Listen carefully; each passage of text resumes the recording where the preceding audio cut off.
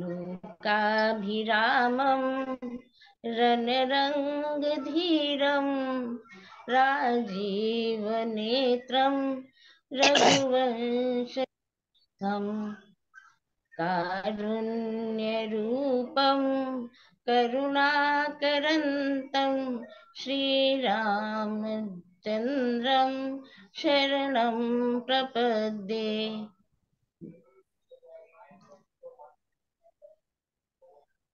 पता नहीं क्या हुआ?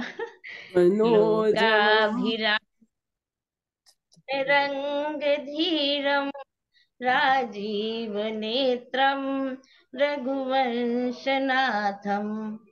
कारुण्यरूपं करुणाकरन्तं श्रीरामचन्द्रं शरणं प्रपद्ये। मनोजवं मारुततुल्यवेगं जितेन्द्रियं बुद्धिमतां वरिष्ठं वातात्मजं वानरयूथमुख्यं श्रीरामदूतं शरणं प्रपद्ये श्रीरामदूतं शरणं प्रपद्ये। हरे रामचंद्र सबसे अच्छा की जय। उमापति महादेव की जय। पवन सुत हनुमान की श्री कृष्ण कन्हैया लाल की जय। जय श्री- राम भाई और बहनों। तो आज इस कोर्स का चौबीसवा सत्र और हाँ आई थिंक करीब करीब दो तिहाई से सत्तर प्रतिशत को समाप्त हो चुका है और अभी तीस प्रतिशत के आसपास कोर्स शेष है। तो आज हम सुंदरकांड में प्रवेश कर रहे हैं। भाई श्री धर्मेंद्र गुप्ता इसको संचालन करने वाले थे, पढ़ाने वाले थे, पर उनको कुछ इमरजेंसी आ गई तो वो नहीं आ पाए। तो आज हम सब साथ में मिलकर अध्ययन करेंगे। राइट और साथ में एक दूसरे से सीखेंगे। और जो इस कोर्स की एक स्पिरिट है यहाँ पे कोई ज्ञानी नहीं है कोई अज्ञानी नहीं है। और तुलसीदास जी इसको बार बार कह चुके हैं कि प्रभु राम जी जिसको जब जैसा बनाया जाता है वो वैसा बन जाता है। हाँ, तो we all will work together. तो मैं तो पावर पॉइंट में बहुत डिपेंडेंट रहता हूँ। और आज पावर पॉइंट की जगह आपको पता नहीं क्या दिखाई दे रहा। है इसको लेट मी सी अगर फुल स्क्रीन दिख जाए तो बहुत ही अच्छा और दिख गया। तो आरंभ में तीन श्लोक हैं। आपने देखा होगा। तो मैं आशा जी से विनती की आशा श्रीवास्तव जी से कि इनके बिल्कुल मधुर स्वर में इनका थोड़ा गायन करें थोड़ा इस श्लोक का आनंद लें फिर हम आगे बढ़ते हैं। आशा जी जय श्री राम। जय श्री राम सर। ये पहला श्लोक। जी जी जी। हम्म शान्तं शाश्वतमप्रमेयमनघं निर्वाणशान्तिप्रदं ब्रह्मा शम्भुफणीन्द्रसेवमनिशं वेदान्तवेद्यं विभुं रामाख्यं जगदीश्वरं सुरगुरुं मायामनुष्यं हरिं वन्देऽहं करुणाकरं रघुवरं भूपालचूडामणिम् नान्यास्पृहा रघुपते हृदये स्मृतिः सत्यं वदामि च भवान् खलान्तरात्मा। भक्तिं प्रयच्छ रघुपुङ्गव निर्भरां मे। कामादिदोषरहितं कुरु मानसं च। अतुलितबलधामं हेमशैलाभदेहं दनुजवन्कृशानुं ज्ञानिनामग्रगण्यम् सकलगुणनिधानं वानराणामधीशं रघुपतिप्रियभक्तं वातजातं नमामि। रघुपत प्रिय भक्तम बात जातम नमामि। आमि रघुपतिप्रियभक्तं वातजातं नमामि। तो बहुत बहुत धन्यवाद आशा जी। तो जो। तो, आपका आभार। देखिए सुंदरकांड एक ऐसा कांड है अ, मैं शायद कोई शायद ही कुछ नई बात कहूँ आपको। अ, और विशेष करके इसलिए कि सुंदरकांड है सुंदरकांड एक ऐसा कांड है अ, जो सबसे ज़्यादा पढ़ा जाता है सुना जाता है और उसका थोड़ा बहुत अध्ययन भी किया जाता है। हम बालकांड का अध्ययन नहीं करते या अयोध्या अयोध्या कांड का अध्ययन नहीं करते पर सुंदरकांड का अध्ययन करते हैं। या सुंदरकांड का पाठ सुंदरकांड का पाठ पाठ तो बहुत कॉमन है। आप शनिवार को आ, मैं अहमदाबाद का रहने वाला हूँ वहाँ पर एक रोड है क्या नाम उस रोड का नाम? Satellite road. कुछ और और नाम भी है पर सैटेलाइट रोड से ज़्यादा नाम जाना जाना जाता है। और उस पर हर एक किलोमीटर पे कुछ एक छोटा मोटा हनुमान जी का मंदिर सड़क पे ही है। तो आप शनिवार को अपना स्कूटर लेके या कार लेके निकले पैदल चलने तो वहाँ हर शनिवार को वहाँ पे आपको सुंदरकांड का पाठ देख होता हुआ दिखाई देगा। पता नहीं अभी ये सही है कि नहीं पर ये मेरा अनुभव है। और बड़ी भीड़ होगी। तो ये बड़ा कॉमन सीन है कि सुंदरकांड का पाठ घरों में होता है मंदिरों में होता है सड़कों पे होता है। तो इसमें कोई विशेषता है। तो हर कांड का आरंभ तुलसीदास जी संस्कृत के श्लोक जिसको हम मंगला मंगल मंगलाचरण मंगल श्लोक इस तरह से कुछ कहते हैं। तो यहाँ पे जो पहले दो पहला श्लोक है, अरे, वो शार्दुल विक्रीडित छंद में, हमने इन सारे श्लोकों पर बड़े विस्तार से इस मंच पे चर्चा की हुई है। जिन मित्रों ने उन को अटेंड नहीं किया हो, इन सबके वीडियोस हैं, उन पर आप देख लें। तो पहला जो सुंदरकांड का श्लोक है, वो शार्दुल विक्रीडित छंद में, और उसमें भगवान श्री रामचंद्र के गुणगान करते हुए उनकी वंदना करते हैं। जो श्लोक का अन्वय है, उसका हिंदी करते हिंदी भी है। श्री राम कहलाने वाले, मैं जगदीश्वर की वंदना करता हूँ। और फिर दूसरा श्लोक में उन्होंने छंद बदल दिया, वसंत तिली का छंद है। और यहाँ पर फिर वो उनसे विनती करते हैं कि, हे भगवान, आप मुझे केवल आप पर आश्रित अपनी भक्ति प्रदान कीजिए। और मेरे मन को काम और दोषों से मुक्ति कीजिए। तो ये वंदना है स्तुति है भगवान की। पर जो सबसे विशिष्ट बात है इस कांड की, ये तीसरा छंद। अतुलित बलधामम हेमशिला पदेयम दुर्जवन कृशानम ज्ञान नाम गण्यम सकल गुण निधानम वानराणाम अधीशम रघुवत प्रिय भक्तम बात जातम नमामि। यहाँ पर वो इस ऐसे व्यक्ति की वंदना करते हैं, जिनकी उन्होंने ना तो बालकांड में वंदना की श्लोक में, मंगलाचरण में, एक थोड़ा सा रेफरेंस बालकांड में ज़रूर दिया है उन्होंने।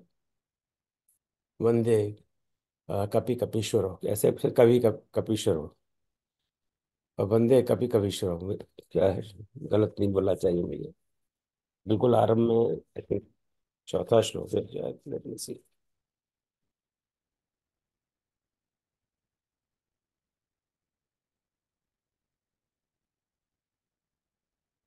वंदे विशुद्ध विज्ञानो कवीश्वर कपीश्वरो। एक चौथे श्लोक में उन्होंने कवीश्वर यानी वाल्मीकि जी और कपीश्वर यानी हनुमान जी को बस वंदना की, उनके कोई गुणगान नहीं गाए कि उनमें क्या गुण है, क्यों उनकी वंदना कर रहे हैं। बस इतना ही कहते हैं वहाँ पर कि मैं श्री वाल्मीकि जी और कपीश्वर हनुमान जी की वंदना करता हूँ। वाल्मीकि जी के तब भी कुछ गुणगान गाते हैं कि वो विशुद्ध विज्ञान संपन्न कवीश्वर हैं परंतु और कपीश्वर हनुमान जी को वंदना करता हूँ। उसके बाद में थे इतने सारे कांड हो गए अयोध्या कांड हो गया अरण्य कांड हो गया किशकिंदा कांड हो गया। हालाँकि किशकिंदा कांड में तो आ, हम सब जानते हैं उनका बहुत बड़ा मेजर रोल है पर वहाँ उनकी वंदना नहीं। अब आके यहाँ पे वंदना करते हैं और यहाँ पर बिल्कुल दिल खोल कर वंदना करते हैं। कि अतुलित बल के धाम सुमेर पर्वत के समान कांति से युक्त शरीर वाले। दैत्य विवन को ध्वंस करने के लिए अग्नि रूप ज्ञानी में अग्रगण्य संपूर्ण गुणों के निधान, वानरों के स्वामी जी के प्रिय भक्त, पवन के पुत्र, श्री हनुमान जी को मैं नमन करता हूँ। यह है मालिनी चंद तो तीन अलग अलग प्रकार के छंदों का प्रयोग करके उन्होंने सुंदरकांड का आरंभ किया है। जैसे मैंने कहा कि सुंदरकांड की कथा वस्तु हम सबको बड़े विस्तार से ज्ञात है, क्योंकि इसका हमने बार बार अध्ययन किया है बार बार चर्चा की है बार बार पाठ किया है। हमने मतलब इस मंच की बात नहीं कर रहा हमने अपने दैनिक जीवन में। तो उन कथा विस्तार पर मैं इतना, इतने विस्तार से बात नहीं करूँगा, कुछ ऐसी बातें करने का प्रयास करूँगा कि जिन की चर्चा कम होती है, जो उसकी सुंदरकांड की थोड़ी विशेषता है। तो देखें, प्रभु राम जी कहाँ ले जाते हैं। अब आपने देखा होगा कि हर कांड में, पहले मंगलाचरण श्लोक है चाहे सा बिगिनिंग में चाहे तीन श्लोक है, चाहे एक श्लोक है, पाँच श्लोक है, जो भी है। और उसके बाद में तुरंत एक दोहा है या सोरठा है। बालकांड में आरंभ के जो सात श्लोक हैं, उसके बाद में एक, दो, तीन, चार, पाँच सोरठ हैं, जो सुमृति से धोए, गणनायक कर, बदन बदन। वहाँ पर गणेश जी की वंदना है, फिर प्रभु की वंदना है, फिर अंतिम पाँचवें श्लोक में गुरु की वंदना है। इसी तरह अयोध्या कांड में हम जानते हैं श्री गुरु चरण श्री श्री गुरु चरण सरोज रजन मन मुकर सुधार, वर्णो रघुबर बिमल जैसे जोता एक विचार फिर कांड में एक सोरठे से राम गान राम गान की वंदना है। किशकंदा कांड में तो शिव जी की वंदना है, क्योंकि ऐसा मान, जो जो जो विद्वान लोग हैं वैसा मानते हैं कि जब तक किशकंदा कांड लिखना आरंभ किया, तब तक बाबा तुलसीदास घूमते घूमते काशी पहुँच चुके हैं। और काशी पहुँच चुके हैं तो काशी तो शिव जी का धाम है तो वहाँ शिव जी की वंदना परंतु सुंदरकांड में कोई वैसी, ऐसा कोई कोई दोहा है सोटा नहीं। सीधे ही मंगलाचरण के तीन श्लोक के बाद में एक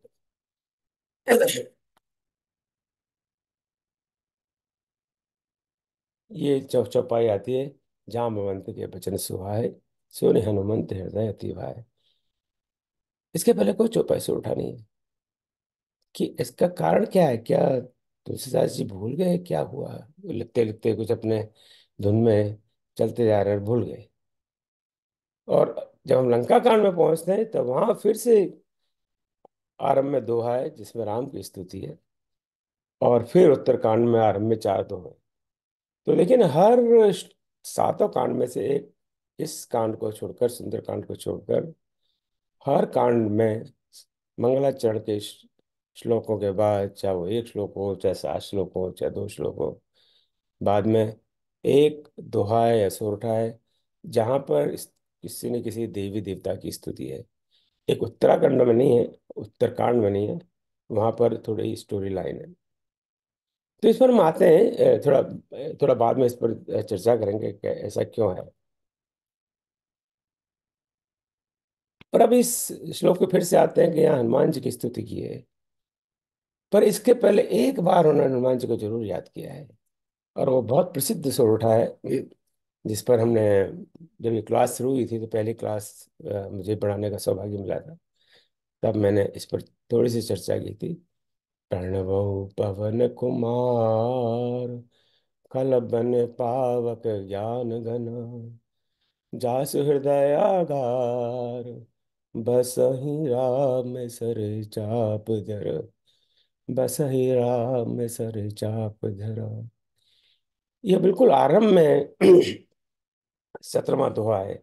अब इसको सत्रहवा दोहा कहना भी ठीक नहीं है क्योंकि दोहा तो है नहीं ये सोरठा है। सत्रवा सोरठा कहना भी ठीक नहीं है क्योंकि सत्रवा सोरठा नहीं है ये। तो अब इसको पता नहीं क्या कहना चाहिए। तो इसको मैं तो ये कहूँगा कि सत, ये ये सत्रहवा क्रमांक है। तो ये सत्रवा क्रमांक है जैसे हम बॉम्बे से दिल्ली निकले चले ट्रेन में तो कहीं रास्ते में रतलाम आ गया तो बोले, ये पाँचवा स्टेशन है। हाँ उसको, उसका नंबर है भाई, पहले बड़ौदा में रुकी ट्रेन, फिर वहाँ सूरत में रुकी, फिर फिर रतलाम में रुकी, अब ये कोटा आया, इसका पांचवा स्टेशन। राइट, उसका और कोई सिग्निफिकेंस नहीं है तो ये एक सत्रहवा विराम है एक तरह से। तो वो वो एक अलग विषय, इस पर हम, कई बार अन्य फॉर्म पर चर्चा हो चुकी। तो यहाँ पर तुलसीदास जी ने हमको हनुमान जी याद दिलाए आरंभ में उन्होंने कहा कपीश्वर हो कपी के ईश्वर। वहाँ भी, भी नाम उन्होंने नहीं हनुमान जैसा कुछ लिखा नहीं है। यहाँ भी हनुमान नहीं लिखा। प्रणमो पवन कुमार। मैं पवन कुमार को प्रणाम करता हूँ वंदना करता हूँ पर पवन कुमार कौन है वो हम पर छोड़ देते हैं। अब आप सोच लो। वो हमें नहीं बताते पवन कुमार कौन है। खल बन पावक ज्ञान घन खल बन पावक। जो दुष्ट है और जो दुष्टों का वन है या दुष्टों का समूह या दुष्टों का गण है, उसके लिए अग्नि अग्नि के समान है, दुष्टों का नाश करने वाले हैं। ज्ञान घन, ज्ञान के घन ज्ञान के भंडार हैं, बड़े विद्वान हैं। जासु हृदय आकार, और जिसके हृदय में, जैसे कारागार होता है, यहाँ हृदय के आकार में, इनके हृदय रूपी घर में बसे ही राम, जहाँ पर राम बसते हैं। सर चाप धर धनुष लेकर। तो ये परिचय किसी का देते हैं? तुलसीदास जी बालकांड के आरंभ में बिना बताए कि किसका परिचय देते हैं। तो अगर हमें पता ना हो, कोई पहली बार पढ़ रहा हो इसको, या यू नो हमारे शास्त्रों से अनुभीज्ञ हो तो वो सोचेगा, ये कौन है? प्रणव, पवन कुमार पवन कुमार कौन है? तो तुलसीदास जी यहाँ ये मानकर चलते हैं कि हमें पता है पवन कुमार कौन है। हालाँकि जो टीकाकार तो खेल टीका में लिख ही देते हैं कि हनुमान जी की स्तुति है। अब बाद में जब हम हम यहाँ पर, और उसके बाद फिर हनुमान जी का कोई नाम नहीं है, फिर भूल जाते हैं। फिर तो वही किष्किंधा कांड में जब आते हैं तो किष्किंधा कांड में अभी फ़िलहाल दो सप्ताह पहले ही नेहा ने इस बारे में बड़े विस्तार से हमें बताया। पर वह भेंट भेंट होती है, पर हनुमान जी कोई स्तुति नहीं है, उनके गुणगान का कोई विषय नहीं है। अब इसको हम इस तीसरे श्लोक से, जरा इसकी तुलना करें तो हम देखते हैं कि दोनों श्लोक में करीब करीब वही बात कही गई है। बल के धाम है कांति युक्त उनका शरीर है दैत्यों के अग्नि स्वरूप है खल बन पावक ज्ञानियों में श्रेष्ठ है ज्ञान के घन है गुणों के भंडार हैं वानरों के स्वामी हैं राम के प्रिय भक्त हैं। तो ये कवियों की एक महानता है कि उसी बात को, जो महत्वपूर्ण बात को सही समय पर सही तरीके से की जाए। अब यहाँ पर चूँकि इस कांड में हनुमान जी के विषय में हमें वो विस्तार से बताना चाहते हैं, उनके कार्य के बारे में, उनकी भक्ति के बारे में, उनके ज्ञान के बारे में, तीन चीज़ें प्रधान है। मैंने उस समय बात की थी। गीता में भगवान श्री कृष्ण में तीन चीज़ों का उपदेश देते हैं। मोटे तौर पर बहुत तो गीता बहुत बड़ा ग्रंथ है समझने के लिए। ज्ञान योग भक्ति योग और कर्म योग। एक छोटे से सोर्ट में तुलसीदास जी ने बता दिया कि जो कृष्ण भगवान ने गीता में सात सौ छह सौ श्लोक में कहा गया है वो तुलसीदास जी ने एक श्लोक में बता दिया। खल मन पावक यानी वो का, वो काम करने वाला ऐसे नहीं कि बैठे बैठे जय श्री राम जय श्री राम करते रहो। वो कुछ करते हैं। दुष्टों का नाश करते हैं। कर्म प्रधान है। कर्म उनके रग रग में बसा हुआ है। कभी हनुमान जी को आपने ऐसे आलसी बैठा नहीं होगा। एक कुछ दंत कथा है या या अंतर कथा है कि वो, वो जब भगवान वापस आ जाते हैं राज सिंहासन पर बैठता है उनके पास कुछ काम नहीं होता। तो वो कहते मुझे काम दो बोले कुछ काम नहीं है तुम बाहर बैठा करो बस। तो वो वो एक बड़ी लंबी कहानी है मैं मान जा रहा नहीं तो आज हम एक दो से आगे नहीं बढ़ पाएँगे। तो एक हमेशा कार्यरत रहते हैं। तो और क्या कार्य कार्य कर, कर किस तरह के कार्य में लगे रहते हैं? कि जैसे समाज का भला खल बन पावक दैत्यों के लिए अग्नि स्वरूप दुष्टों का नाश करे करने वाले। इसके बाद में जो तो ये हुआ कर्म योग दूसरा अगर रचनाकार का नाम आता है आपका आप किसी का वीडियो कृपया बंद कर लें प्लीज़ दूसरा? ज्ञान घन वो ज्ञान के भंडार है। गज़ल में आवश्यक नहीं होता कि मक्ता आखिरी।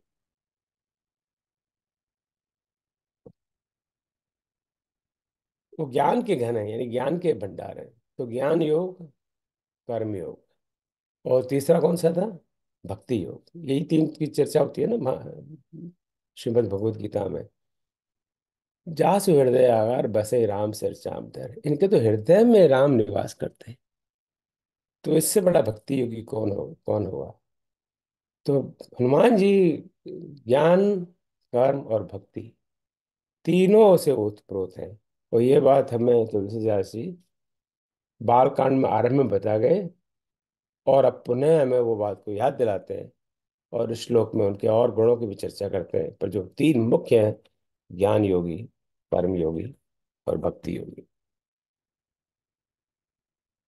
अब एक दो प्रश्न बड़े खड़े विशेषकर इस सुंदरकांड के लिए खड़े होते हैं कि अभी मैंने कहा था कि शनिवार को या मंगलवार को सुंदरकांड का पाठ बहुत कॉमन है भारत के अंदर ये आप सोच लीजिए कि अमेरिका में भी बहुत होता है ये पाठ। और बहुत अच्छी बात है। तो सुंदरकांड का ही पाठ क्यों? किशकिंदा कांड का पाठ कर सकते हैं उत्तर कांड का पाठ कर सकते हैं अयोध्या कांड का पाठ कर सकते हैं। किसी और कांड का पाठ या तो अखंड रामायण पाठ होगा, या सुंदरकांड का पाठ होगा, पर किसी और कांड विशेष का पाठ हो, ऐसा मैंने तो नहीं देखा। आपने देखा है कहीं होता हो कि भैया चलो आज हम लोग मिलके किष्किंधा कांड का पाठ करते हैं। सुना है आपने कहीं होता हो, मुझे मुझे इस बारे में ज्ञान नहीं है। किष्किंधा कांड का पाठ तो होता है। किस तरह से पाठ होता है? जी जी। अच्छा। किसी विशेष कार्य को सिद्ध करने के लिए किया जाता है। अच्छा। वेरी नाइस बहुत सुंदर। नई बात जानने को मिली। धन्यवाद धन्यवाद। और कोई इस बारे में जानकारी किसी के पास? बनारस में सभी जगह होता है। करीब करीब जहाँ भी हनुमान जी के मंदिर हैं मंगलवार और शनिवार को होता है। क्या किसका बनारस बना, सुंदरकांड का पाठ सुंदर वो तो हमें पता है सुंदरकांड का तो पाठ होता है। सुंदरकांड के अलावा किसी पाठ का किसी कांड का पाठ पाठ होता हो ऐसा कोई जानकारी आप किसी सुंदरकांड का पाठ पाठ तो मंदिरों में घरों में बहुत कॉमन है। हम्म। तो ऐसी क्या बात है कि सुंदरकांड का ही पाठ क्यों होता है? बाकी किसी अन्य कांड का अब इसका हाँ हाँ जी। ये अपने सुंदरकांड का पाठ होता है। अपने सुंदरकांड की बुक में भी जब भी सुंदरकांड का पाठ कहीं आरंभ किया जाता है तब एक पाठ किष्किंधा कांड का भी सुंदरकांड के बुक में लिखा हुआ है आगे में। हम्म। तो वो पाठ होता है हमेशा किष्किंधा कांड का भी। हाँ उस पर भी बात करेंगे कि वो क्यों होता है। वो भी एक तीसरा हाँ वो भी तीसरा ये मुझे हाँ मैं ये उस पर मुझे जानना भी था चाचा जी हाँ भैया श्वेता जी। श्वेता जी मैं उस, उस पर चर्चा करूँगा। तो हाँ। सुंदरकांड का पाठ क्यों होता है? इसलिए हमें थोड़ा सा इस राम कथा को समझना पड़ेगा। देखिए अरण्य कांड के अंत में जो प्रभु की लीला है बड़ी डिप्रेसिंग लीला है। लता पतराजी से पूछ रहे हैं मेरी सीता कहाँ है सीता कहाँ है? अब लता पतराजी से तो कोई पागल ही पूछेगा। यू नो हम पेड़ पेड़ थोड़ी पूछेंगे अभी मेरी सीता कहाँ है या मेरा मेरी कार खो गई, वो कहाँ है या मेरा बेटा गुम हो गया, वो कहाँ है? आप किसी मनुष्य से पूछेंगे, पुलिस में जाएँगे, कुछ इस तरह का जुगाड़ लाएँगे। लता पतराजी से तो कोई कोई नहीं पूछेगा। पर वो इतने ज़्यादा डिप्रेस्ड हैं, ये लीला है, हम जानते हैं क्योंकि उनकी परिस्थिति बड़ी खराब है और जो भी रास्ते में मिलता है, हर किसी से पूछते हैं, पेड़ हो, पत्थर हो, साधु हो, किरात हो, भील हो, स्त्री हो, पुरुष हो, बच्चा हो, बूढ़ा हो क्या आपने देखा है सीता को आपने देखा है सीता को आपने देखा है सीता को तो अरण्य कांड का जो अंत है, इसी लीला के साथ होता है। एक थोड़ी सी आशा माता सबरी देती है कि ऐसा करो, आप वहाँ पे जाओ, थोड़ा पंपा सरोवर है, और वहाँ पे सुग्रीव साहब की भेंट होगी, और वो शायद आपके आपके लिए लाभदायक लाभदायक रहे।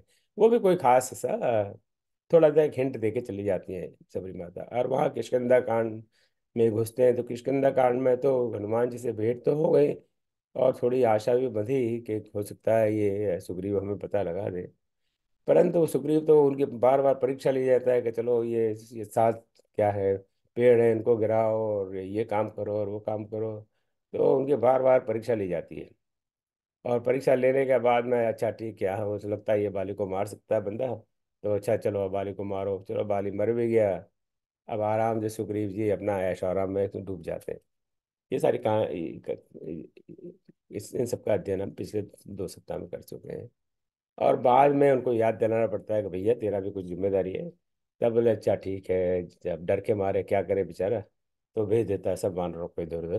के पता लगाओ और वहाँ अंत में, जैसे लास्ट अंत लास्ट वीक हमने देखा था कि समुद्र के तट पे वो वानर लोग भी घूमते घामते जामवंत जी हैं हनुमान जी हैं अंगद है नल नील हैं और दुनिया भर के लोग हैं। तुलसीदास जी उन सबका नाम बहुत नहीं लिखते। समुद्र के किनारे खड़े हुए आते हैं और कह तो संपाति उनको देता है। थोड़ी आशा के देखो मुझे यहाँ से दूर से दिखाई दे रही है सीता। अब क्या पता है वो सच बोल रहा है झूठ बोल रहा है वो भी बूढ़ा है उसको पता नहीं कोई और औरत दिख रही हो उसको वो सीता लग, लग रही हो। क्या कौन कह सकता है निश्चित रूप से? कोई नहीं कह सकता है। फिर भी और के यू नो जो डूबते डूबते कुछ तिनके का सहारा, जो हिंदी में कहावत है, अब तो हमारे पास कोई और ऑप्शन है ही नहीं। हम चलो ऐसा ही करते हैं कि भाई चलो समुद्र के पार जाते हैं और तब ये हनुमान जी तैयार होते हैं, जैसा हमने पिछली बार पिछली बार देखा था। और वो जाने के लिए तैयार हो जाते हैं, जिसमें जामवंत जी का बहुत बड़ा बहुत बड़ा रोल है उनको प्रेरित प्रेरित करने के लिए। तो जो अब तक पूरा निराशा का दौर चल रहा था, जिसमें कोई आशा की किरण दिख नहीं रही थी या कोई निश्चितता नहीं थी, यहाँ से वो निराशा आशा में परिवर्तित होने, हो रही है। ऐसा लग रहा है कि ये जो दुख के दिन है, वो शायद अब चले जाने वाले हैं, अब सुख के दिन आने वाले हैं। तो पूरी राम कथा का परिवर्तन यहाँ से शुरू होता है। जो निगेटिविटी है वो दूर हो, हो रही है और पॉजिटिविटी आ रही है। इसलिए ये मेरा मत है इसलिए शायद महर्षि वाल्मीकि ने इसका नाम सुंदरकांड रखा हुआ और तुलसीदास जी ने तो शायद वही वही नाम कॉपी किया है वहाँ सुंदरकांड है यहाँ भी सुंदरकांड है। सारे कांडों का नाम उन्होंने वही के वही रखे जो वहाँ थे एक सिर्फ़ लंका कांड को छोड़कर। वहाँ उन्होंने युद्ध कांड लिखा है यहाँ इन्होंने लंका कांड लिखा है बाकी में काम वही रखे आप गूगल करेंगे आपको इसके भिन्न भिन्न आंसर मिल उत्तर मिल जाएँगे। और जो उत्तर आपको पसंद हो उसको आप स्वीकार करिए। ये ज़रूरी नहीं है कि जो हम बात कर रहे हैं जो मैं बात कर रहा हूँ वो सही है। पर मेरा यही मानना है कि सुंदरकांड एक बहुत बड़ी आशा जीवन में देता है कि जब हमारे हमारे जीवन में निराशा हो सं, संकट हो किसी भी प्रकार का संकट है शारीरिक संकट है आर्थिक संकट है पारिवारिक संकट है हम सब परिवार के लोग हैं। हमारे पास कोई ना कोई झमेला लगा ही रहता है।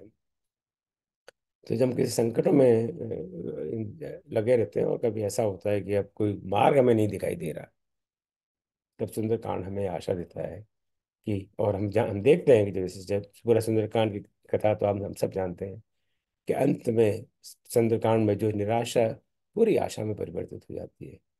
ना केवल सीता का पता लगता है पता लगता है, ये भी पता लगता है वो कहाँ है, कैसी है, किस परिस्थिति में, रावण का क्या हाल है रावण की सेना में कितनी ताकत है, उसको हम किस प्रकार से परास्त कर सकते हैं?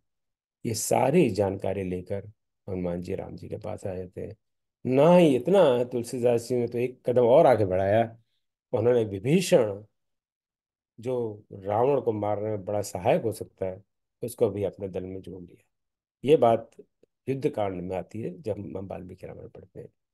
तो सुंदरकांड पूरी स्टोरी को हम अगर इसको, हमको स्टोरी माने तो एक निराशा से आशा की स्टोरी में परिवर्तित कर देता है।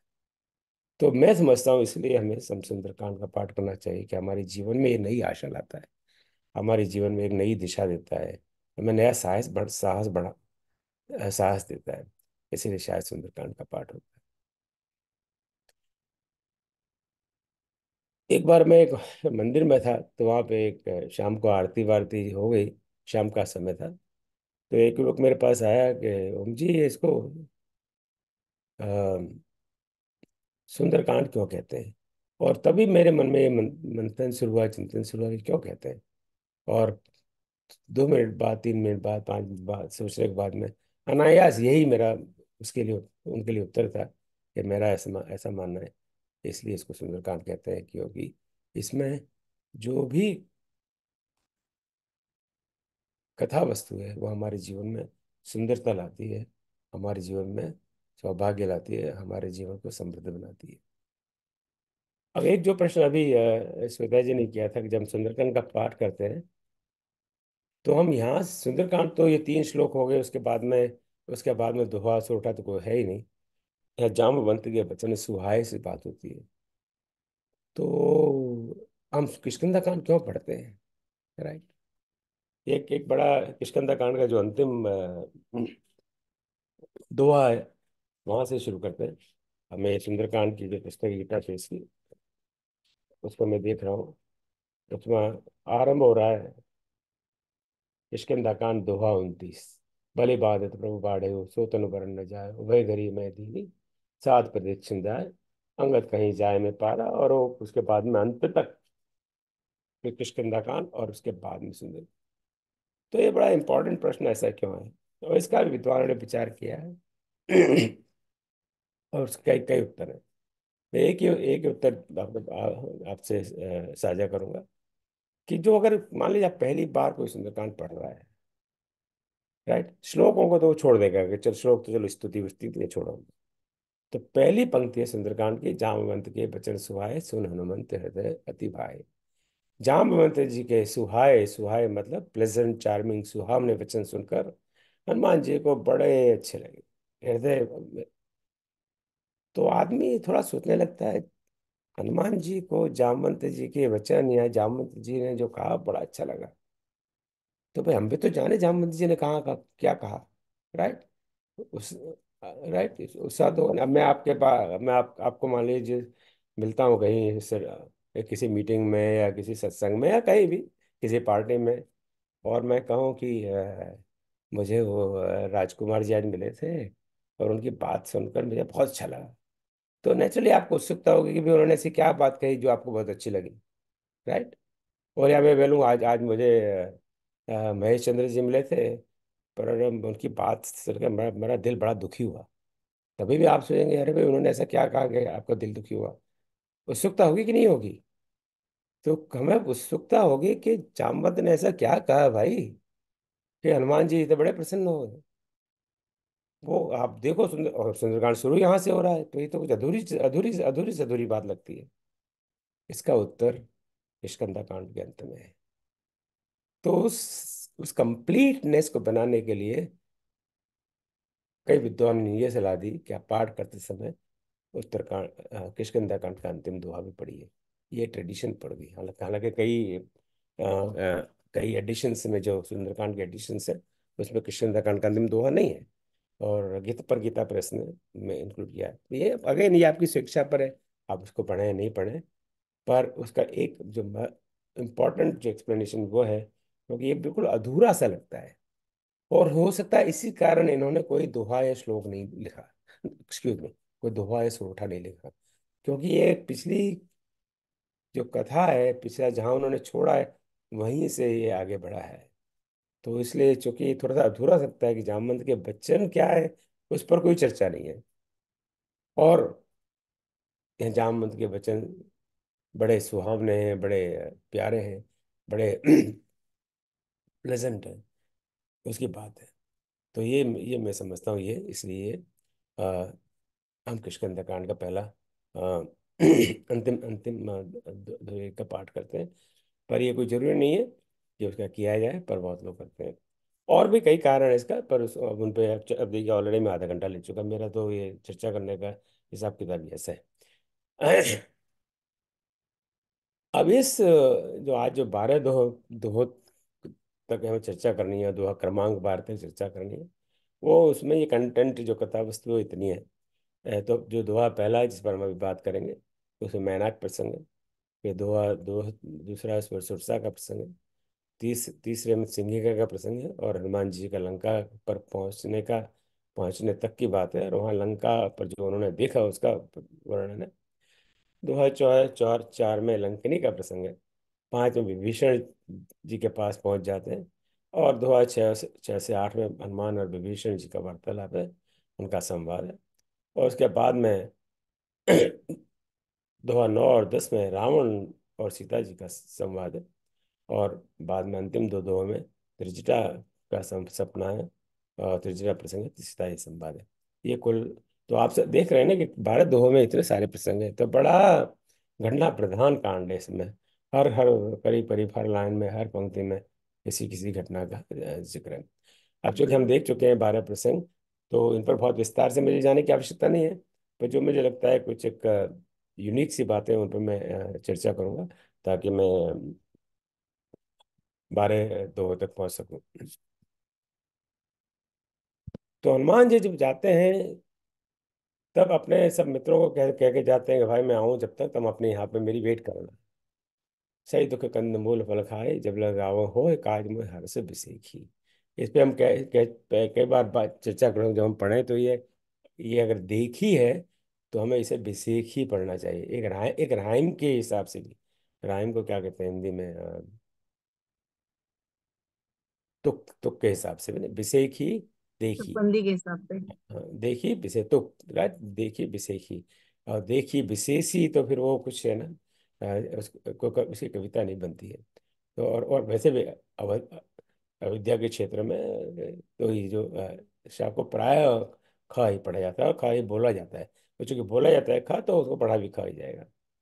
विशेषकर अगर उस चौपाई का एक भाग खा पर समाप्त होता है या तो दूसरा भाग जो श लिखा है वो भी खा, ये हमें मानस को सही उच्चारण कैसे पढ़ना चाहिए इसमें विस्तार से चर्चा की थी तो आप थोड़ा सा इसका ध्यान रखें।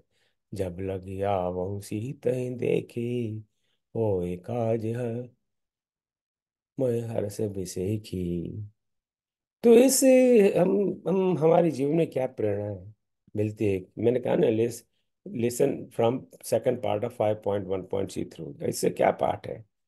तो हनुमान जी कहते हैं कि हमें कोई भी काम शुरू करने के पहले मन में हर्ष होना चाहिए। विशेष हर्ष होना चाहिए। यहाँ तो वो कहते हैं कि मैं ये काम करना चाह रहा हूँ और मेरे मन में बड़ा विशेष हर्ष है। मान लो आप कोई भी काम काम नया शुरू करें, हम लोग कोई भी नया काम शुरू करें। कोई भी नया प्रोजेक्ट शुरू करें, कोई नया रामायण की क्लास शुरू कर रहे हैं, गीता की क्लास शुरू करें या नहीं, यहाँ से कोई नई यात्रा शुरू कर रहे हैं, कोई नई, नया जॉब शुरू कर रहे हैं, किसी दूसरे नए देश में हम माइग्रेट हो जाएँ, हम ये सब काम करते रहते हैं, किसी दूसरे शहर में जाएँ तो उसको बड़े हर्ष के साथ वो काम आरंभ करना चाहिए। तो काम के सफलता की क्या कुंजी है यू नो अंग्रेज़ी में इस प्रकार की बहुत सारी किताबें हैं।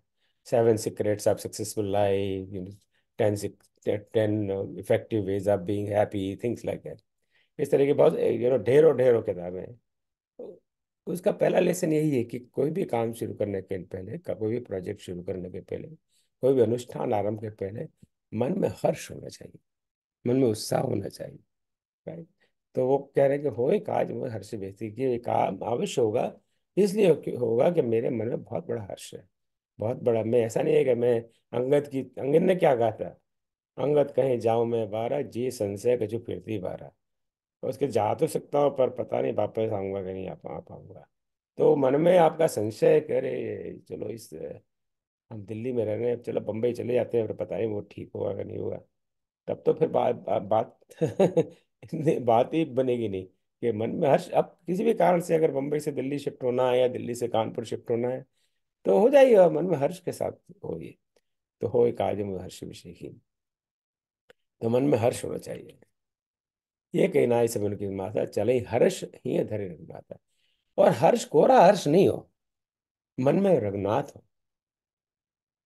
राइट बड़े उत्साह के साथ चलती है, पर भगवान को अपने हृदय में रखकर चलती है। हर्ष, चले वो हर्ष दी है धर रघुनाथा तो देखिए, जरा से एक आधी आधी पंक्ति में तुलसीदास जी, बाबा तुलसीदास जी में क्या क्या कहने जाते हैं कि कोई भी नया काम शुरू करें नया प्रोजेक्ट शुरू करें नई नौकरी शुरू करें नया जीवन शुरू करें नया आपका विवाह हो रहा है वो भी एक बहुत बड़ा प्रोजेक्ट है राइट?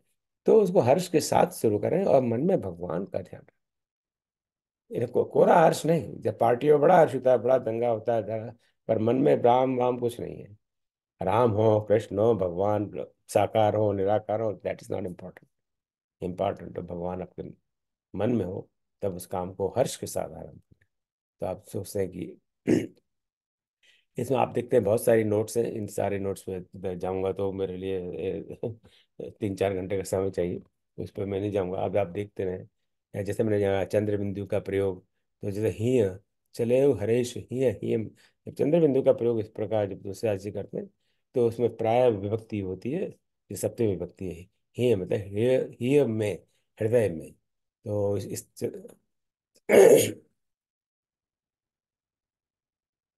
सिंधु तेरे एक भूतर सुदर कौतिक भूत प्रभु जाओ पर, बार बार रघुवीर समारे तरके पवन तने बलबारी तो इसमें अब मैं कोई बहुत ज़्यादा डिस्कशन पर बात नहीं है। जो जो लेसन वाली बात करते हो तरके पवन तने बलबारी बा, वहाँ पहुँच गए अब बस अब उनको छलांग लगानी है समुद्र पार करने के लिए। पर छलांग लगाने के पहले भी बार बार रघुवीर संभारी। कि अब मैं बस छलांग लगा के लंका पहुँचना चाहता हूँ। और इतना सौ योजन दूर ये समुद्र है तो मैं एक बार भगवान को फिर स्मरण कर लेता हूँ। तो भगवान का बार बार स्मरण करना चाहिए। गौतम तुलसीदास जी हम कहते हैं, और वो हमें बताते हैं कि जो उनके राम भक्त, हनुमान जी वो सर्व समर्थ है। अतुलित बल धामम हेम शिला बधे वो भी बार बार भगवान का स्मरण करते हैं। यहाँ भगवान का स्मरण करते तरके फिर वो कूदते ऐसा नहीं कि चलो मैं तो इतना बड़ा शक्तिशाली हूँ, बलवान हूँ, मैंने इतना बड़ा शरीर कर लिया, अब मैं बस जब लगाता हूँ जंप मेरे को रोकने वाला कौन है? पर उसके पहले बड़े विनम्र भाव से भगवान का स्मरण करें, वही हमारे लिए जीवन में लेसन है कि हम बड़े कितने भी समर्थ हों, लेकिन भगवान का स्मरण करना ही चाहिए। फिर वो तो हमें पता है कि हनुमान जी बस एक बार उन्होंने छलांग लगाई और एक पार करने समुद्र पार करने के लिए समुद्र के ऊपर आ गए। हैं जननी दे रघुपति दूत बेचारी, तय मैं ना कहो श्रम भारी। तो जो समुद्र जो नीचे है, वो सोच रहा है, अरे, ये तो हनुमान जी ऊपर जा रहे हैं, राम के दूत हैं और इतना लंबा चौड़ा मैं समुद्र हूँ, ये थक जाएँगे। इनको ऐसा करते हैं, थोड़ा सा बुलाते हैं चाय वाय पिलाते हैं गर्मा गर्म पिज़्ज़ा वीज़ा हैमबर्गर इनको सर्व करते हैं।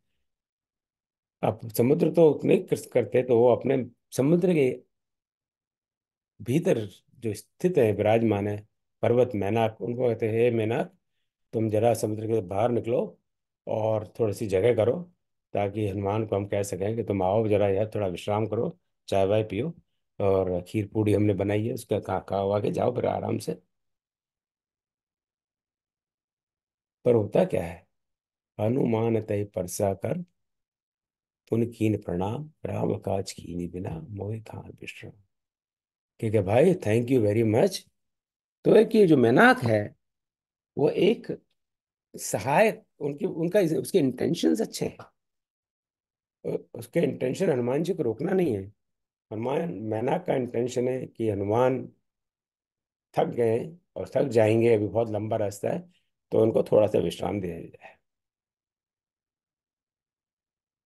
परंतु हनुमान जी को पता है उनके पास बहुत समय नहीं है, एक महीना तो ऑलरेडी निकल चुका है और वहाँ बैठ गए, विश्राम करने लगे, वहाँ अच्छा लग गया और वहीं लगे यार चलो यही मैनाक पे ही बस जाते हैं अब कहाँ इधर उधर जाना।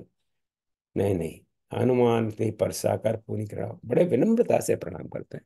तो कोई हम, हमारी जो अगर जीवन में मदद करने आए और मदद करने के इंटेंस देखिए हर हर एक से रामायण के हर पंक्ति में जीवन जीने के लेसन हैं। हमें बस ढूँढने हैं। अब इस पंक्ति में क्या लेसन है? कि, कि जो हमारे जीवन के अंदर हमें मदद करना चाहे सहायता करना चाहे तो हमें किसी वजह से अगर उसकी सहायता हम ना ले सकें और ना लेना चाहें फिर भी हमें उनको धन्यवाद देना चाहिए प्रणाम करना चाहिए। उनको प्रणाम करते हैं मैना पर्वत को कि बहुत बहुत धन्यवाद। परंतु तुमको तो पता ही है कि मुझे काम है, आगे जाना है सीता जी का पता लगा। अब मैना की बड़ी कहानी है कि मैना पर्वत समुद्र के अंदर चला गया।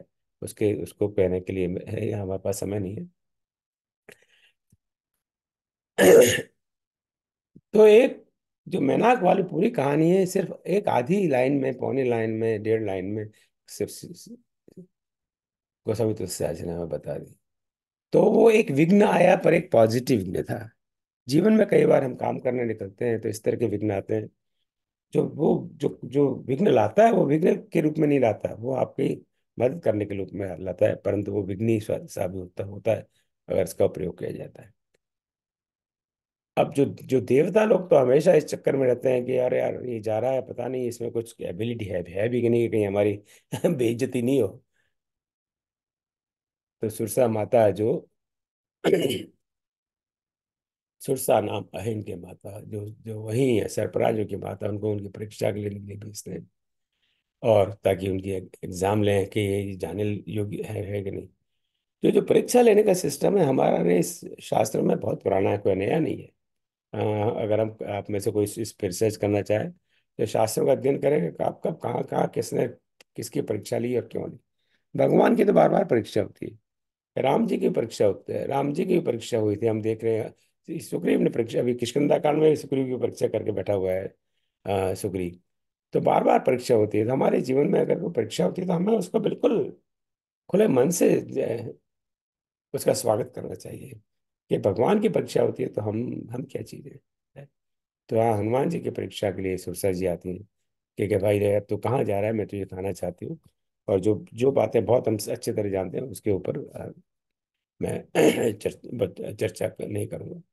तो बड़े अपने यहाँ पर उनके चातुर्य से मैंने प्रसंग में उनका उनका विवेक और विनम्र स्वभाव का परिचय और यहाँ उनकी चतुरता का परिचय कि अपनी अपनी बड़ी चतुराई से उनको पता है कि ये देवी है, ये राक्षसी नहीं है, देवों ने इनको भेजा है तो और मेरी परीक्षा के लिए लाए तो बड़े चतुराई से इनसे इनसे निपटा जाए। तो हर जगह ये बात आई थिंक पिछली बार हमने की थी कि different strokes for different folks हर हर किसी व्यक्ति को आप उसी डंडे से ट्रीट नहीं कर सकते। जो काम उन्होंने वहाँ किया, वो काम यहाँ नहीं, यहाँ इनको बड़ी चतुराई से समझा, ये तो जान जा नहीं रही है, खाने के लिए अपना मुँह खोला हुआ है, अब इसको हाँ वहाँ पर बल का प्रयोग नहीं कर रहे। अब चाहते तो हनुमान जी बल का प्रयोग कर सकते थे। अब वो सर्पों की माता है, उसको एक एक एक मुष्टि का मारते तो वो सर्पों की माता तो कहाँ पाताल में चली जाती। पर बल का प्रयोग नहीं किया। उन्होंने कहा बल का प्रयोग ठीक नहीं है। तो हमें कहाँ किस तरह से, किस समस्या को किस तरह से सुलझाना चाहिए, इस पर विचार करना चाहिए? हमारे पास हो सकता है दस ऑप्शन हो। हमें उसी ऑप्शन का प्रयोग करना चाहिए जो उस समय के लिए उचित हो। तो जब उसने बड़ा सौ योजन का अपना मुँह कर लिया, तब तो हनुमान जी एकदम अति लघु रूप पौरुषुत लेना ये हनुमान जी की सिद्धि है, अष्ट सिद्धि नौ निधि के जाता है। उनके पास सिद्धियाँ पहले से ही थी। बाद में तो हम देखेंगे वो अष्ट सिद्धि नौ निधि के दाता ऐसा वरदान देती हैं। माता सीता माता सीता, उनको ये नहीं कहते हैं कि तुम्हारे पास अष्ट सिद्धि हो। उनके पास तो है सिद्धि है। वो छोटे बन सकते हैं, बड़े बन सकते हैं, गायब हो सकते हैं, अंतर्धान हो सकते हैं। तो उन्होंने अत्यंत लघु रूप लेना और फटाक से अंदर उनके प्रवेश में जाकर बाहर आ गए। तो अपनी बुद्धि का प्रयोग करना बहुत आवश्यक है। और बुद्धि के साथ साथ फिर अपनी जो सिद्धियाँ हैं, उनका प्रयोग हम कर सकते हैं। सिद्धि का प्रयोग किया पर बुद्धि के साथ। अब यहाँ एक प्रश्न होता है कि जब वो हमेशा रूप डबल करते गए तो जब सुरसा ने सौ जन का अपना शरीर कर लिया, आनंद, शरीर नहीं, आनंद, मुँह सौ जन का कर लिया तो फिर हनुमान जी ने फिर वो जो करते आ रहे थे, आठ के दस दस सोलह सोलह का बत्तीस, और फिर पचास के सौ तो यहाँ फिर उन्होंने डबल क्यों नहीं किया? क्या हनुमान जी असमर्थ थे? क्या वो सौ योजन के बजाय वो फिर दो सौ योजन का नहीं बन सकते थे? वो बन सकते थे, पर उन्होंने बुद्धि का प्रयोग किया। अगर मैं दो सौ योजन का बन जाऊँगा तो सौ योजन का समुद्र और बाकी सौ योजन का तो फिर मैं अयोध्या तक पहुँच जाऊँगा। तो सारे दुनिया में हाहाकार हो जाएगी हो, क्या हो, क्या रहा है ऊपर? कि तो और फिर ये चार चार सौ का बनेगी, फिर मैं आठ सौ का बनूँगा उसका अंत कहाँ है? तो हमें इस तरह की होड़ में नहीं पड़ना चाहिए। कई बार हम होड़ में पड़ जाते हैं। उन्होंने कहा कि बस इतना पर्याप्त है, इतना बड़ा इन्होंने मुँह कर लिया है। अब मेरे पास समय है कि जब तक ये मुँह उनको पता भी लगेगा, मुँह बंद करेंगे, तब तक मैं बाहर आ जाऊँगा। देखिए ना, शक्ति का प्रदर्शन एक हद तक उचित है। उसके बाद में उसका कोई उपयोग नहीं है। तो सो वो उन, उनके पास सिद्धि है बड़े होने की। छोटे होने की सिद्धि है बड़े होने की सिद्धि है। वो बड़े भी हो रहे हैं और छोटे भी हो रहे हैं और यहाँ पर अपनी बुद्धि का विवेक का प्रयोग करके वो बाहर आते हैं। इसी तरह हमें भी अपने जीवन में हमारे पास सबके पास सिद्धियाँ हैं। ऐसी सिद्धि नहीं है तो दूसरी सिद्धि हैं। कोई अच्छा कवि है कोई अच्छा लेखक है कोई अच्छा गीतकार है कोई अच्छा वक्ता है कोई अच्छा दानी है या तो किसी किसी किसी के पास धन है किसी के पास कुछ है किसी के पास कुछ है। तो हम अपनी सिद्धियों का प्रयोग करें। पर जहाँ जो जिसका जितना उचित उपयोग हो, उतना ही करना चाहिए। यह हमें हनुमान जी यहाँ पर बताते हैं। और तब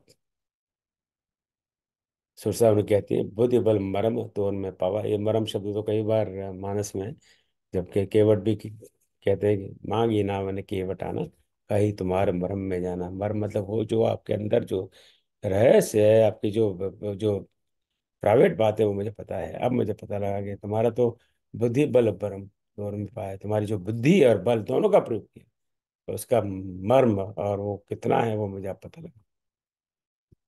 और वो आशीर्वाद देके वो चली जाती। इसके बाद में सिंह का सिंह का प्रसंग है, जो छा, एक छाया से ऊपर जाने वाले लोगों को पकड़ लेती है। और हनुमान जी ने संगी का तो सिंह का तो नाम ही नहीं लिखा है।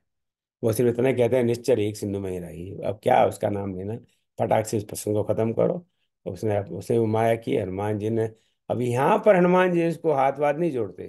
क्योंकि भाई हाँ मुझे जाने दे, मैं आके वापस आऊँगा, तब मुझे पकड़ लेना। कुछ नहीं। क्यों? यहाँ tit for tat you know different stroke for different folks तो यहाँ ये तो राक्षसी है। राक्षसियों के साथ इस तरह का व्यवहार नहीं किया। ये तो टाइम वेस्टर है। इस, इसके लिए तो एक ही तरीका है कि इसका यहीं पर जय जय श्री राय पर कर दिया जाए।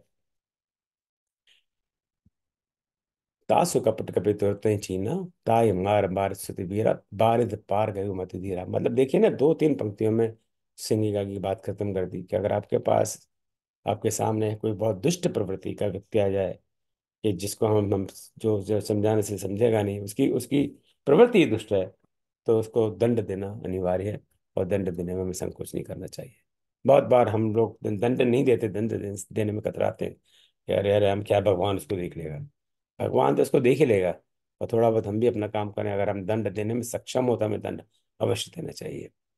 अगर सारे सारे जो इतनी हमारी सारी कोर्ट्स हैं, high court, district court, session court, supreme court, ये सारी जज बोले अरे, दंड तो भगवान देगा, हम तो सबको बरी कर देते हैं। तो फिर हमारे सारे सारे कोर्ट व्यवस्था की ज़रूरत क्या है? कोई ज़रूरत नहीं है।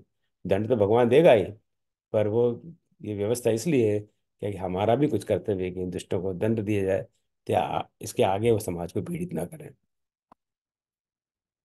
तो ये तीन व्यवधान है, मैनाक, सुरसा, सिंह का, और इनका हमारे जीवन से बिल्कुल डायरेक्ट संबंध है। व्यवधान तीनों है, पर एक मैनाक का पॉजिटिव व्यवधान है, और सुरसा का और एक परीक्षा का व्यवधान है। हम जैसे हम जानते हैं, हम सब लोग स्कूल, कॉलेज में पढ़े हुए हैं जब जब परीक्षा आती थी तब तक हनुमान जी को याद कर, करते थे हे हनुमान जी पेपर अच्छा हो जो मैंने याद किया वही आए राइट राइट पर व्यवधान तो बहुत था। हम बड़े प्रार्थ के भाई क्या तो परीक्षा लेते हैं परीक्षा की क्या आवश्यकता है? हम ये इस कोर्स में भी परीक्षा ले रहे हैं आप लोगों की। तो हम एक ही बात कि इसकी क्या आवश्यकता है भगवान? यू नो हमारा तो एक नंबर कट गया ये चक्कर गया यू नो इस प्रश्न का उत्तर क्या ये तो ये स्वाभाविक है और सिंह का बड़ा नेगेटिव व्यवधान है। तो अगर हम इनको तीन गुणों से हम कहें तो तमोगुण, रजोगुण और सतगुण ऐसे ही होते ना? तो मैना के सतगुण है सुरसा एक रजोगुण है और सिंह का तो तमोगुण और इन तीन गुणों के बाद भगवान गौस्वामी तुलसीदास परोक्ष रूप से कई बार करते हैं। यहाँ पे उन्होंने ये तीन गुणों की कोई बात नहीं की सतोगुण रजोगुण तमोगुण, पर तीनों गुण के ये रिप्रेजेंटेटिव्स हैं। और कई बार ये सब तीनों हमारे जीवन में व्यवधान बन सकते हैं। वहाँ हमें प्रयोग, हमें अपना विवेक प्रयोग का का प्रयोग करना है। हम उन व्यवधानों से आगे कैसे बढ़ें? अब चलो अब तो लंक अब तो लंका पहुँच गए। अब यहाँ पर उन्होंने लंका का भी उन्होंने बड़ा विस्तार से वर्णन दिया है। कनक कोड विचित्र तनिक सुंदर आय त्यागना तो तुलसीदास जी को अगर लंका में अगर सुंदरता दिखाई देती है तो उसका भी वर्णन करते हैं। ये नहीं कि लंका रावण की नगरी है तो वहाँ बस को गाली गलौज तो। ऐसा नहीं। तो यहाँ पे जो दो या तीन छंद हैं यहाँ पर इन्होंने लंका की सुंदरता का वर्णन किया हुआ है। तो उसमें कोई बुराई नहीं है। तो लंका अब पहुँच तो गए। अब वहाँ पर पूर्व रखवारे देख बहु कभी मन कीन विचार। अब क्या करूँ यहाँ तो इतने सारे राक्षस हैं। तो क्या हनुमान जी डर गए उन सबको देखकर? नहीं डरने की कि मेरा गोल क्या है? हमें गोल ध्यान रखना चाहिए। मैं यहाँ किस लिए आया हूँ? यहाँ मारपीट करने के लिए आया हूँ? किस लिए आया हूँ? इन राक्षसों यहाँ देख रहे हैं बहुत सारे मुझे राक्षस। करता हूँ कि पिटाई अभी शुरू। नहीं नहीं नहीं अभी मुझे पहले गोल अचीव करना है। सीता जी का पता लगाना है। और पता लगा के वापस पहुँचना है। यहाँ मैं मारपीट करने के लिए नहीं आया। दंगा फसाद नहीं करना मुझे। तो चुपचाप किसी तरह सीता जी के पास पहुँचा फिर सोचते हैं। इसलिए उन्होंने बड़ा अति लघु रूप धरा। बहुत छोटा सा लोग रूप धारण करके इस नगर में प्रवेश करता हूँ, ताकि कोई मुझे देख नहीं पाए। अब जो निंदा करने वाले जो लोग हैं उसकी निंदा करते हैं कि हनुमान जी से डर गए, एकदम चुपचाप छोटा सा रूप धर के चले गए। है ना, ऐसे बड़े मर्द होते तो एकदम जाते छाती ठोक के। तो वो ऐसे कुतर करने वाले से हम कुछ कह नहीं सकते, क्योंकि वो डर नहीं गए। उन्होंने अपने बुद्धि का, अपने विवेक का प्रयोग किया कि इस समय क्या युचित है। अब ये लंकनी का प्रसंग हम जानते हैं तो लंकनी जो एकदम उनकी गेट कीपर बैठी हुई थी वहाँ पर फायर वॉल जिसको कहते हैं, आजकल होता है ना फायर वॉल कंप्यूटर में और उन सब में। वो वो बड़ी ट्रेंड थी, उसने वहाँ पे जाके स्कॉटलैंड यार्ड में ट्रेनिंग ली हुई थी, कि कहीं घुस नहीं सके। तो उन्हें वो जब घुसेगा तू जा कहाँ रहा है? तेरा आईडी वाईडी बता, आधार कार्ड कहाँ है? तो बोले, आधार कार्ड, इसने तो मुझे देख लिया बोला, आधार कार्ड तो मैं घर पे भूला है। बोला अच्छा पासपोर्ट कौन कौन से देश से आ रहा है? बोले, मैं भारत से आ रहा हूँ। बोले, लंका है, पता है, पासपोर्ट होना चाहिए। तो बोले, पासपोर्ट ही भूला है। तो बोले तू नहीं ऐसे नहीं जा सकता। बाकी प्रसंग हमें पता ही है। अब यहाँ पर उस लंकनी से से निपटने के लिए फिर एक बार उन्हें बल का प्रयोग करना पड़ रहा है। मुट्ठी का एक महाकपि यानी एक मुट्ठी का, एक मुष्टि का बस आवश्यकता थी और उसमें वो हमें पता है वो लंगड़ी गिर पड़ती है और उसको जो पूर्व जो उसकी जानकारी इसको पता है कि जब ऐसा होगा, वो एक संकेत है कि अब रावण का अंत होने वाला है। और डर के मारे तो भूत भी कांपते हैं और डर के मारे फिर तो वो हाथ जोड़ के खड़े, खड़ी हो गई। तात स्वर्ग अपवर्ग धय तुलाय अंग पूर्णताय सकल मिले जो सकल अवसर एक क्षण का जिसके साथ संगति हो जाए एक संत के साथ उसके सामने तो स्वर्ग का भी सुख कुछ नहीं। मतलब अब या चाहे वो मन से कह रही हो, चाहे चापलूसी कह रही हो, चाहे डर के मारे कह रही हो हाँ वो तो राम जी ही जाने। और फिर वो कहती है, बहुत बड़ी प्रसिद्ध चौपाई है सुंदरकांड की, और मैं समझता रामायण की, प्रवेश नगर की जय सब का जय हृदय राग कौशलपुर राजा मन में अब ये एक लंक नहीं एक राक्षस है कह रही है तुम अपने मंदिर, अब तुम लंका के द्वार पर आ गए हो। अब मैं खुद तुमको एक तुम्हारे पासपोर्ट तो है नहीं, पर तुमको मैं ये वीसा देती हूँ टेम्परेरी वीसा तीस दिन का। आप लंका में प्रवेश करो, पर ऐसे मत जाओ। हृदय राग कौशलपुर राजा मन में राम का ध्यान अभी हनुमान जी को कहने की ज़रूरत नहीं थी। हनुमान तो राम को ले अंदर रह गए, चलते ही हृदय में रख ही चलते हैं। पर फिर भी वो उसको याद दिलाती है कि तुम अंदर प्रवेश करो। अब मैं थोड़ा फटाफट चलता हूँ। वहाँ अंदर प्रवेश करने के बाद मैं वहाँ पर कहीं तो चीता उनको दिखाई नहीं दी और वहाँ पर उनको वो रामायुध अंकित ग्रह शोभा बरन न जाए, नव तुलसी का वृद्धता देख हर्ष कपिरा है और देख हर कपिरा है वहाँ एक ऐसा ऐसा महल देखा, ऐसा भवन देखा, ऐसी कुटिया देखी जहाँ पर रामायुध अंकित ग्रह, जहाँ जहाँ राम के आयुध अंकित थे और वहाँ तुलसी तुलसी दल, तुलसी माता के पेड़ पौधे थे तो उनका घर है, ये तो कोई सज्जन का घर है। और यहाँ पर तो राक्षस यहाँ पर सज्जन कहाँ से आया? तो मन मन में तर्क करे कपिला मन में सोचने लगे, कौन है ये? क्या चक्कर, क्या है यहाँ पर? तभी विभीषण जी जा गए क्योंकि वो विभीषण का महल और वहाँ विभीषण को मिलने के बाद में और विभीषण जागते कहा, राम राम ते सुमरन की ना। उन्होंने उठते कहा, राम राम। तब हनुमान जी और भी चकित हुए। कि यहाँ लंका में राम राम कहने वाला ये पागल कौन है? सोचना चाहिए इस पर। पर कुछ भी हो किसे राम राम तो कहा है?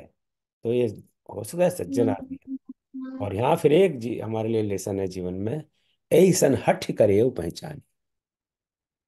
कि हमें सज्जन आदमी अगर कोई दिखाई दे सज्जन पुरुष सज्जन स्त्री सन्नारी जो भी सही शब्द हो उसके लिए हमें उनसे हट करी हो पहचानी। उनसे हमें ज़बरदस्ती जान पहचान करनी चाहिए। और इसका, अगर हम नेगेटिव स्टेटमेंट देखें तो जो हमें पता लगे दुर्जन है तो उनसे दूर से ही राम राम कर से उनसे छुटकारा पाना चाहिए। और सज्जनों से, सज्जन जाके उनसे कहिए कि भाई मेरा नाम फलाना है, मैं या इस गाँव का रहने वाला हूँ, आप किस गाँव के रहने वाले हैं, फलाना फलाना फलाना। तो ज़बरदस्ती पहचान कर। बाद में पता लगे वो सज्जन ना हो, पर वो मौका हमें नहीं गंवाना चाहिए। कई बार हम कई सज्जन हमें मिलते हैं, पर हम वो मौका गंवा देते हैं। हनुमान जी, वो मौका नहीं गंवाते। अगर वो मौका गंवा देते, वो भी संशय में रहते कि पता नहीं ये कोई राक्षस है, और यहाँ पे इस तरह के वेश में राम राम कर रहा है, क्या पता नहीं क्या झमेला है, छोड़ो छोड़ो, आगे बढ़ो। तो पता नहीं उनको सीता मिलती कि नहीं मिलती। पर उन्होंने ये नहीं, ये भूल नहीं की, इस तरह की गलती नहीं की कि ये सज्जन आदमी लग रहे हैं, और मुझे सीता का पता लगाना है, मैं रावण के महल में हुआ है, और कई महलों में हुआ है, कोई सीता का आता पता नहीं है, पता नहीं वो संपाति ने कुछ दारोवार हुई थी, क्या हुआ था, ऐसे बता दिया कि हमें ऐसे वो भी कोई कोई रावण का एजेंट तो नहीं था कि हम, मुझे फंसाने के लिए भेजा हुआ हो। तो अब मेरे पास ये सज्जन दिखाई दे रहे हैं इनसे पूछता हूँ। और अपना परिचय देते समय विप्र रूप धरी वचन सुनाए। अब एक बानर के रूप में चले गए, फिर वो चक्कर हो सकता है। उनके पास तो सिद्धियाँ हैं, उन्होंने रूप बदल दिया। और इन दोनों में बात होगी भाई, तुम बताओ कि क्या है तो हनुमान जी ने अपनी सारी बात बताई, विभीषण अपनी सारी बात बताई। और तब हनुमंत कही सब राम कथा, निज नाम। अब वो अपनी बात बताता है, सुनो पवन सुध रहना हमारी जिम दुश्मन में जीव बेचारी मेरी हालत तो यहाँ है भैया कि दांतों के बीच में जो जीव जिस प्रकार से रहती मैं रहता हूँ जीव अगर दांत से बाहर आ जाए और दांत बंद हो जाए तो जीव का क्या हाल होता है कभी कभी हमारे साथ होता ही है। और तब तब क्या होता है, हम सब जानते हैं। मैं मैं कई बार भुगत चुका हूँ इसको तो बड़ा ध्यान रखना पड़ता है। परंतु आज मुझे लगता है कि मेरा भाग्य खुल गया नहीं तो मैं, मैं मेरे पास एक राम भक्त कैसे आएगा? और हनुमान जी की यहाँ विनम्रता देखिए एक एक चौपाई इसकी भी लोग बड़ा नेगेटिविटी लेते हैं। जब जब जो हनुमान जी कहते हैं प्रात ले जो नाम हमारा ते दिन ताई न मिले आहारा। जो हमारा नाम हमारा मतलब हम वानरों का बंधनों का नाम सुबह से लेता है उसको दिन पर रोटी नहीं मिलती है। तो लोग कहते हैं हनुमान जी खुद ही कह गए कि उनका सुबह सुबह नाम नहीं लाना चाहिए तो आपको सुबह हनुमान चालीसा वगैरह नहीं करना चाहिए। ये तो गलत काम कर रहे हो। तो हम जो हनुमान चालीसा पाठ है, आप में से ऐसी किसकी धारणा होगी सुबह सुबह नहीं करना चाहिए। तो आप मुझे बता दें आपकी जगह किसी और को मैं डाल दूँ। वो उनकी विनम्रता है। लोग लोग विनम्रता को समझते नहीं है। वो बड़ी विनम्रता है कि मैं एक तो एक छोटा सा बानर हो, बंदर हो, बंदरों को सुबह से कौन देखेगा? फिर सुबह सुबह एक बंदर का मुँह देखा है इसने आज पता नहीं दिन कैसा निकलेगा। लोग ऐसा हमारे बारे में सोचते हैं। ऐसे के साथ भगवान कृपा करते हैं, ऐसे अधम के साथ। कीनी कृपा मोह पर रघुवीर तो आप सोच सकते हैं वो कितने बड़े कृपा निधान तो मुझ पर इतनी कृपा की है तो आप पर कितनी कृपा की है। पर चलो इधर उधर की बात, बहुत बात हो गई। आप ही बताओ कि ये सीता माता है कहाँ? तो फटाक से अपना फ़ोन विभीषण जी देते हैं जीपीएस डाल के ये देखो मैंने डाल दिया है जीपीएस और इसी रास्ते से चले जाओ, तुम्हारे पास तो है नहीं फ़ोन तुम तो खाली एक अंगूठी लेके घूम रहे हो, अंगूठी में तो जीपीएस है नहीं। तो उस फ़ोन के द्वारा जीपीएस को ढूंढते ढूंढते ढूंढते ढूंढते सीता जी के पास पहुँच जाते हैं। आप जाने रहे कि मैं ऐसी मज़ाक में कह रहा हूँ, उनके पास कोई फ़ोन नहीं था। और उन्होंने सिर्फ़ उनको एक, उनको उनको निर्देश दिया कि सीता जी के पास पहुँचने का रास्ता क्या है। कई सौ यूरोप गए उपनितवा बन अशोक, सीता, जहाँ रह गई रहवा और वहाँ पर सीता जी को देखते हैं निज पद निज पद नयन दिए मन राम पद कमललीन परम दुखी बाबा देख जानकी माता जानकी को अत्यंत दीन देखा, अत्यंत दुखी देखा। और उनका जो ध्यान है निज पद नयन अपने अपने पैरों में, अपने चरणों में उनके नयन है और उनका मन है, राम जी चरणों में परम दुखी है। अब ये देखकर उनके मन पर क्या क्या गुजरी होगी? क्या बीती होगी, ये हम, इसकी हम कल्पना नहीं कर सकते हैं। निज पद नयन अब इसके, अब ये हो गया राम जी की यहाँ तक की यात्रा। अब रावण जी का ब्राह्मण का प्रसंग शुरू होता है। वो वहाँ सोच रहे हैं कि करें विचार करो का भाई। ये विचार शब्द हनुमान जी के संदर्भ में कई बार आता है। हनुमान जी बिना विचारे कुछ नहीं करते। ये भी एक बहुत बड़ा हमारे लिए लेसन है कि कुछ करने के पहले हमें सोचना चाहिए। आप पहुँच गए वहाँ पर। सीता जी बड़ी दुखी हैं। अब क्या क्या क्या करना चाहिए मुझे थोड़ा सा विचार तो मैं कर लूँ। अब मैं हनुमान सीता जी के पास पहुंचाऊँगा, वो मुझे इस पहचानने में भूल करते मुझे पहचाने ही नहीं तो तो फिर क्या फ़ायदा हुआ? तो ऐसा क्या, ऐसी क्या मैं युक्ति करूँ कि मेरा काम बन जाए? इसके लिए विचार करना पड़ता है, सोचना पड़ता है। इसलिए हमें कोई भी काम करने के पहले थोड़ा सा विचार कर लेना चाहिए। और ये ये विचार शब्द कई बार है। करें विचार करो का भाई।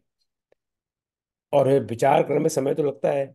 और उसी समय हमारे श्रीमान रावण जी वहाँ पधार गए। तही अवसर रावण तही आवा। और वो तो आके डांट डपट लग सामधान भय भेद था कि मैं तुम्हें महारानी बना दूँगा पटरानी बना दूँगा, अपने सर पे रखूँगा और तुम्हारी पूजा करूँगा और फलाना ढिमका और मंदोदरी सब, और तो बाकी में इतनी सारी रानियाँ, तब तेरी तुम सारी सेवा करेंगे। पर एक बार हाँ कर दे भाई। लेकिन तृणधर ओट कह बेद ही, सुमर अवध परम से नहीं। और वहाँ ही सीता जी का और रावण का छोटा सा संवाद है कि तू तो खद्योत समय एक जुगनू के समान है। और तू क्या सोचता है अपने आप को? आप ऐसे ने खद्योत समय राम भानु समान राम तो सूर्य के समान प्रकाशवान है। और तू एक जुगनी के समान है, जिसकी रोशनी, क्षणिक रोशनी एक क्षणिक समय के लिए रहती है। और इस पर रावण बड़ा क्रोधित होकर अपनी तलवार निकाल लेता है। परुष परुष वचन, परुष मतलब कठोर वचन सुनकर। पुरुष नहीं है, परुष है। काड़ी ऐसी बोला ऐसी का मतलब तलवार, अपनी तलवार निकाल लेता है। और वहाँ पर कहता है, मैं तुम्हारा सर काट लेता हूँ। तब वो मंदोदरी उनको रोक, रोकती है, नहीं नहीं नहीं, ऐसा मत करो। तुम्हारी बड़ी बदनामी होगी। अब चूँकि सम, अपना समय थोड़ा मैंने एक्सीड कर लिया, इसलिए मैं आगे बढ़ जाता हूँ। और वहाँ पर अपनी सारी जो दास दासियाँ हैं, जो राक्षसियाँ हैं सबको कह के चला जाता है कि तुम मेरी सीता को डराओ। भवन गए वो दस्कंदर यहाँ पे पिशाचिन वृंद थी तो इतराज दिखा वही धने रूप कि अभी उसने माना नहीं है, तुम इसको एकदम बड़े बड़े भयंकर रूप धर के इस सीता को डराओ। और जो आजकल जिसको हम कहते हैं थर्ड डिग्री टॉर्चर आजकल पुलिस वाले ले जाते हैं ना थर्ड डिग्री टॉर्चर दिया जाता है। तो इनको थर्ड डिग्री टॉर्चर करो इनको डराओ ताकि ये ये, जो मेरी बात मान लें और जो उन राक्षसों में एक राक्षस ये त्रिजटा और वो त्रिजटा है जहाँ तक मुझे ध्यान है वो विभीषण की पुत्री है। उनकी भी वहाँ ड्यूटी लगी हुई है उन राक्षसियों में। पर वो पर वो भी विभीषण की तरह राम भक्त है। उन उन्होंने सब सारी बुलाया कि देखो देखो ये चीज़ को डांट, इसको सीता को डराने का, धमकाने का काम मत करना। मुझे अभी ऐसा बड़ा सपना आया है कि कुछ दिनों में ही रावण का नाश होने वाला है। पूरा वर्णन में एन पे नहीं जा रहा तो ऐसा करो जनक सुता के चरणन पर ही उनकी सभी पूजा सेवा करो और बस उस दिन की प्रतीक्षा करो कि ये हमारी लंका नगरी रावण के अत्याचार से मुक्त हो जाए। और वो सब मुक्ति होने वाला है। और उसके बाद में सारी जहाँ तक गई, सकल तब सीता, कर्म ने सोच समास दिवति बीते वही मारे निश्चर भोज। और सारी राक्षसियाँ लेट नाइट हो गया, सब अपने अपने घर चली जाती हैं। अब सीता सोचती है, अब एक महीना रह गया, अब क्या होगा? क्योंकि रावण एक महीने का समय गया। और यहाँ पर वो उनका मन का विलाप है। और त्रिजटा से वो कहती है, हे हे हे माता, हे सीता इतनी बड़ी संगति है, कोई मुझे रास्ता नहीं दिखाई देता। अब तुम मुझे ऐसा कोई रास्ता बताओ कि मैं अपना जीवन त्याग सकूँ। चलो कहीं से कहीं ऐसा कर, थोड़ी मुझे अग्नि ला दो, ताकि मैं एक चिता बना के अपना प्राण दे सकूँ। और सीता त्रिजटा को पता है कि ये तो मैं नहीं कर सकती वैसे भी राम आने वाले हैं। तो अब तो टाइम कैसे पास हो बोले अच्छा अच्छा अभी ये तो रात हो गई है, अब रात में अग्नि कहाँ मिलेगी, मैं कल ला के देती हूँ। और वो भी खिसक लेती है। कैसी सीता विधि भा प्रगटूटा मिले न पावक, मिटे न सूला। देखे तो प्रकट अंगारा आवन आवत एको तारा। इतने सारे तारे हैं, उसमें से एक तारा गिर जाए, उसकी अग्नि से मैं यहाँ पर मैं चिता बना सकूँ। पर ऐसा कुछ नहीं होता। फिर अशोक से कहती है, जो वृक्ष है अशोक का अर्थ है, जो शोक दूर करेगा, तेरा नाम तो अशोक है। मेरा शोक तो दूर कर, सत्य नाम कर हर का। मेरा नाम तो दूर कर। देख परम बिरहा कलु सीता सोचन कपई कलप संबिता इतनी बिरहा को सीता को देखकर हनुमान जी के ऊपर क्या गुजरी होगी? आप सोच सकते हैं। कपि करे हृदय विचार। अब देखिए विचार फिर से आया। फिर कपि ने सोचा कि अब समय है। दीन मुद्रिका डारी अब मैं मुद्रिका डालता हूँ। रावण चला गया है। सारी राक्षसनियाँ चली गई हैं। आधी रात हो गई है। यहाँ पे और कोई है नहीं। और इतनी विरह में, इतनी पीड़ा में ये समय सीता जी से भेंट करने का। तब उन्होंने मुद्रिका डाल दी। जन अशोक अंगार। और अशोक के वृक्ष पर से डाली है। तो सीता जी को ऐसा लगा कि अशोक ने उनकी बात सुन ली वृक्ष ने उनकी बात सुन ली और उन्हें वो अंगार, जो अंगारा मांग रही थी वो दे दिया। इसलिए हर्ष कोटि कर गए वो। तो मैंने बड़े प्रसन्न हो गए, हे अशोक, तूने मेरा शोक हर लिया, मुझे अंगार दे दिया। और उसको अंगार समझ कर ले लिया। और यहीं पर ये आज का बारह, दो का दिन समाप्त होता है। सुंदरकांड में एक ही सोरठा है, वो एक ये सोरठा है जो इसका क्रमांक बारह है। और कोई सोरठा नहीं है। आ, वो भी थोड़ा मुझे आश्चर्य आश्चर्य लगता है क्यों है पर कवि है उनको जो मन उस समय भाया वो उस समय किया।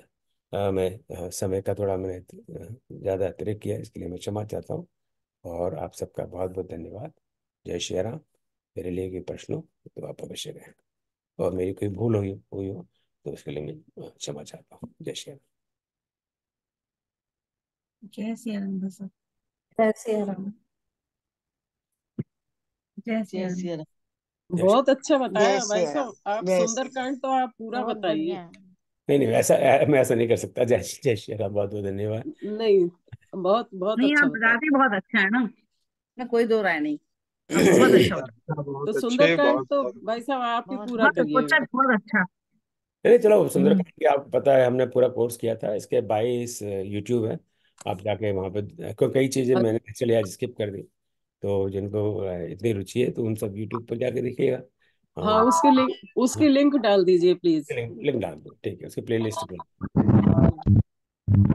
कोई मेरे लिए प्रश्न? चलिए कोई प्रश्न नहीं बहुत बहुत धन्यवाद और बहुत बढ़िया। परसों हाँ जी।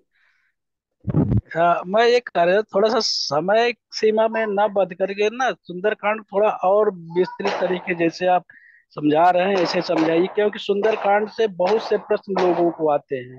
नहीं कोई न कोई रोज सुंदर ना बजरंग प्रश्न पूछ ही। आपकी बात सही है। हमने एक कोर्स का एक तरह से डिज़ाइन किया है तो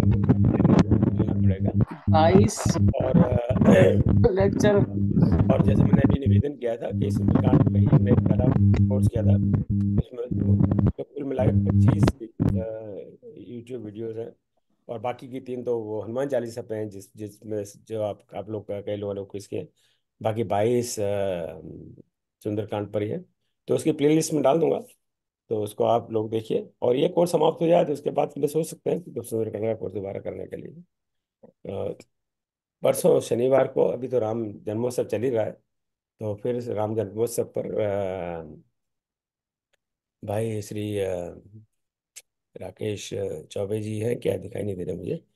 तो इन्होंने कुछ मित्रों के साथ मिलके आ, आ, राम जन्मोत्सव का आयोजन किया। समय तो होना ही था वो सब कुछ। कुछ तो वैसे ही हुआ ये घटना। किया गया। अ,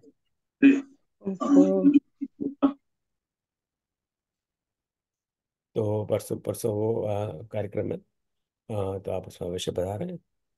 और आप सबका पुनः बहुत बहुत धन्यवाद। और मैं सरिता जी को पुनः आमंत्रित करता हूँ। कि शांति श्लोक का पाठ के समाप्त समाप्त ॐ सर्वेषां स्वस्तिर्भवतु। सर्वेषां शान्तिर्भवतु। सर्वेषां पूर्णं भवतु। सर्वेषां मङ्गलं भवतु। ॐ सर्वे भवन्तु सुखिनः, सर्वे सन्तु निरामयाः, सर्वे भद्राणि पश्यन्तु, मा कश्चित् भवेत्।